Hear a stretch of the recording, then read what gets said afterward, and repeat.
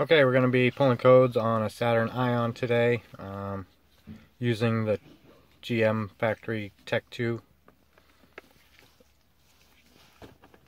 In order to communicate with this car, we're also going to need um, the CANdi module, which is just connects inline between the Tech 2 and the OBD2 port. Alright, so we got it fired up here. And we're just going to go into we got a few different options here. Diagnostic, service programming systems. We're just going to go into diagnostics here. And we're working on a 2006 Saturn, so passenger car. And Saturn. We're going to go into powertrain. And we got a 2.2 liter four speed automatic and diagnostic trouble codes engine codes DTC information. DTC info.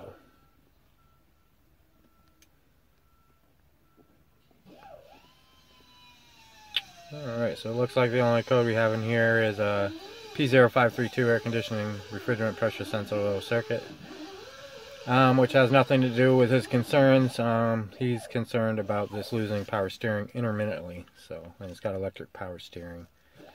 Nothing related to that here. So we're going to go back and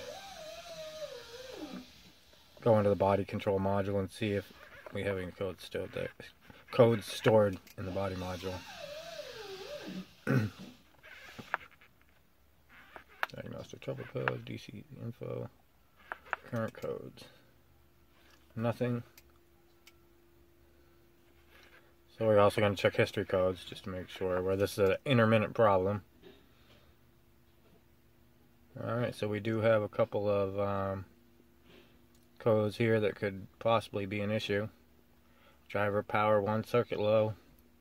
And he was complaining of his brake light coming on, low brake fluid indicator coming on.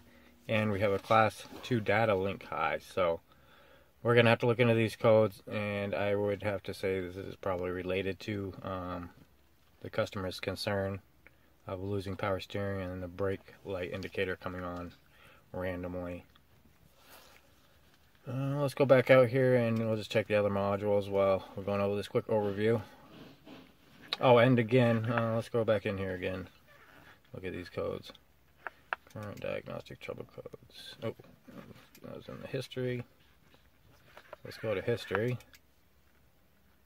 Uh, if anybody out there has information on these codes or have um, diagnosed these codes before, I would love to hear your feedback. Um, probably not going to have a video on it, but I would definitely like to know um, what other people may have seen out there with these codes.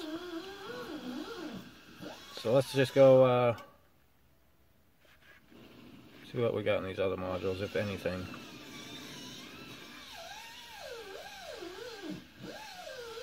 Chassis.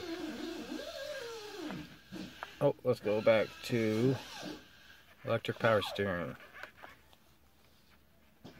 Diagnostic trouble codes. Current codes.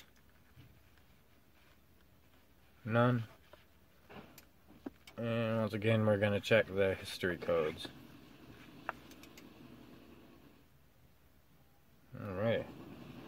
Good, we got a couple codes in here, so that'll give us something to go by.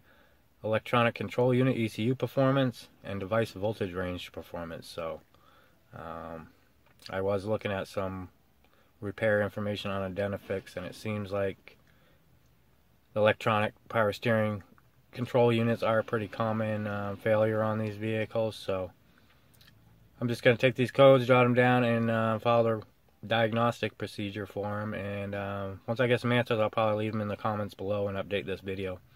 But once again, thanks everybody for watching. If this information was helpful at all, be sure to hit the thumbs up and subscribe to my channel for more